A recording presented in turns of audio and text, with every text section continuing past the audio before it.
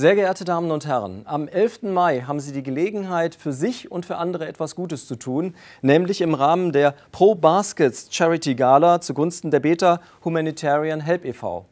Die Beta Humanitarian Help e.V. leistet Hilfe in Ländern der dritten Welt und zwar dadurch, dass Ärzte von hier in die Länder der dritten Welt fliegen, um die Menschen dort zu behandeln.